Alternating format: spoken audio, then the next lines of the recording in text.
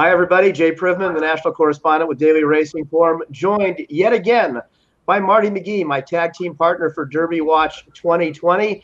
And we're going to give you an update as to how our list currently looks and what to look forward to this coming weekend. And Marty, let's start with the couple of changes that we needed to make to the top 20 this week.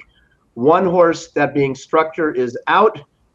Chance It is in, and you had to tweak uh, a couple of prices, including the one on Chance It. Let us let us know what all you did here.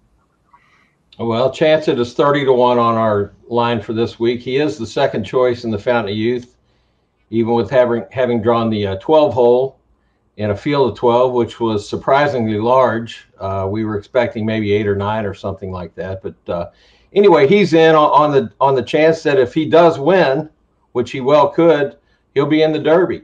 And uh, the horse that came out, Structure, uh, Chad Brown texted us a few days ago saying uh, he's just a little bit behind with him. He's got to kind of reconfigure his schedule. Uh, as you know, he won the Breeders' Cup Juvenile Turf to stay unbeaten as a two-year-old. He hasn't run yet as a three-year-old, like a number of them haven't, who would or would not be on this list. And uh, and Chad's going to go from there. But for the meantime, he's off the list. So that was the only change made from our Derby Watch list from last week to this week. There's one big race this weekend, as Marty mentioned. It is the Fountain of Youth. Chance it. We'll get to him in a moment. 12 entered in this race. Four of the entrants are on our current Derby Watch top 20. But Marty, the horse I think most everybody is eagerly looking forward to seeing is the morning line favorite in the race, and that's Dennis's Moment, who we haven't seen since an awful start in the Breeders' Cup, but he's been training at Gulfstream. So let's get everybody up to speed on how he's been doing. You've seen him in person down there, uh, or down here, I should say, since I've joined you this week now uh, from my comfy confines of California. I've come back here. Uh, what do you think of Dennis's moment? Well, that was the telling moment right there uh, at the start of the Breeders' Cup. After that, uh, pretty much all chances were lost. He never got into a.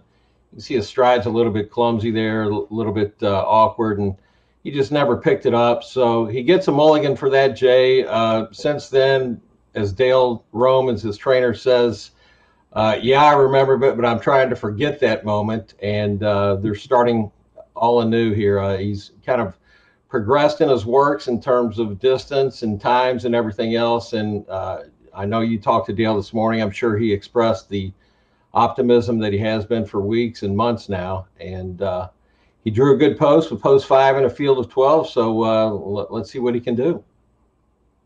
Yeah, he said it's time to stop talking and to finally run the race. Uh, he has been training regularly at Gulfstream Park, and obviously Mike Welsch has seen him. You've seen him, and there'll be a full report on his progress.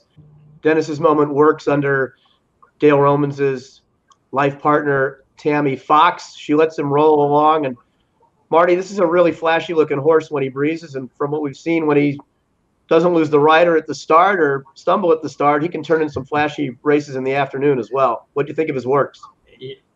Yeah, his works have been great. He's had seven of them starting in uh, early to mid January, and if Dale could have scripted it up to this point uh, the way he wanted to, it's it's uh, come to fruition. So, uh, you know, again, Jay, he's going in with with nary an excuse other than the fact he will not have raced for close to what four months. Um, and actually, you got to go back before that because he didn't really race in the Breeders' Cup. But anyway, uh, let's, like Dale said, uh, enough of the talking. Let's do some walking.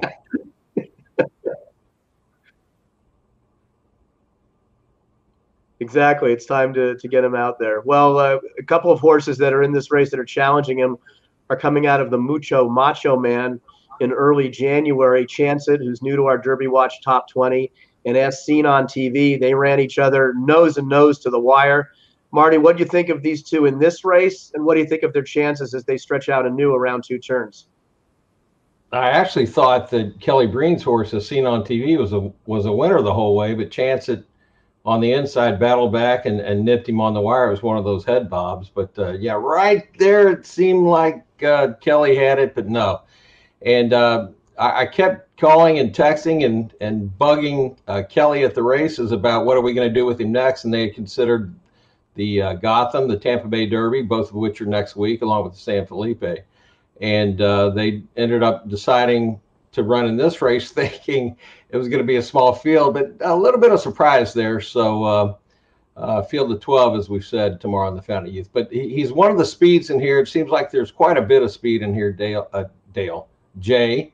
And um, so, yeah, it, it's going to be up to Paco Lopez to work out the right kind of. We look the same.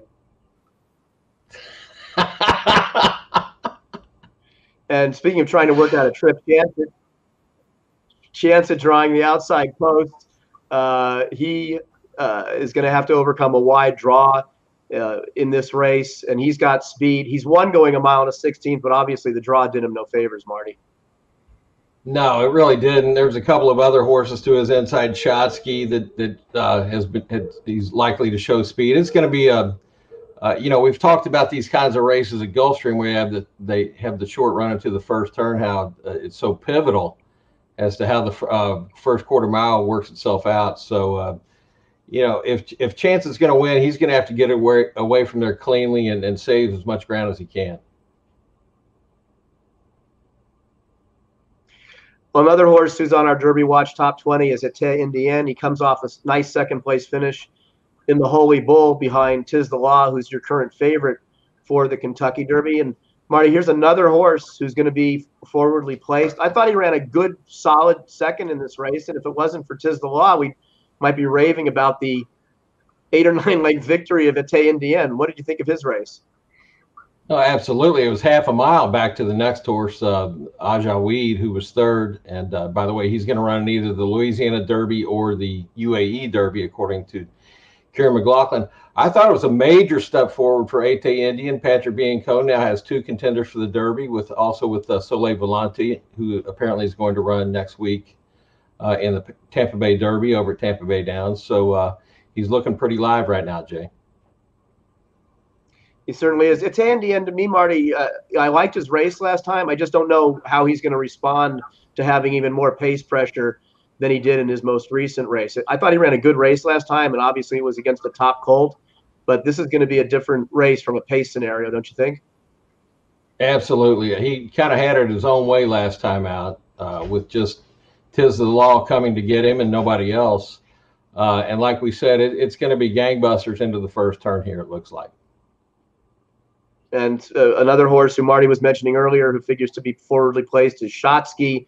Marty, I've been a little bit circumspect about how good I think this horse is. I thought he ran okay in the Withers last time, but he just looks to me like he might be reaching the outer limit of his distance capabilities. And there's a lot of others in this race, and certainly on our top 20 who I like more. You've been a little more bullish on him than I have. What do you think of him in this race?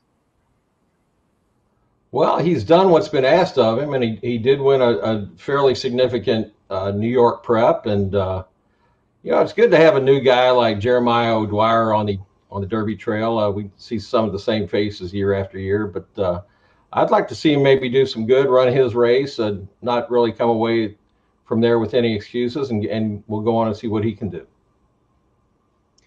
Well, that's our look at our current Derby Watch Top 20 and a preview of the Fountain of Youth Stakes and all the horses that are going to be running in that race. Come back to this spot next week. Marty and I will be doing two videos. We'll recap the Fountain of Youth and update how that impacts our Derby Watch Top 20 and then we'll have previews of several big races that'll all be run next Saturday.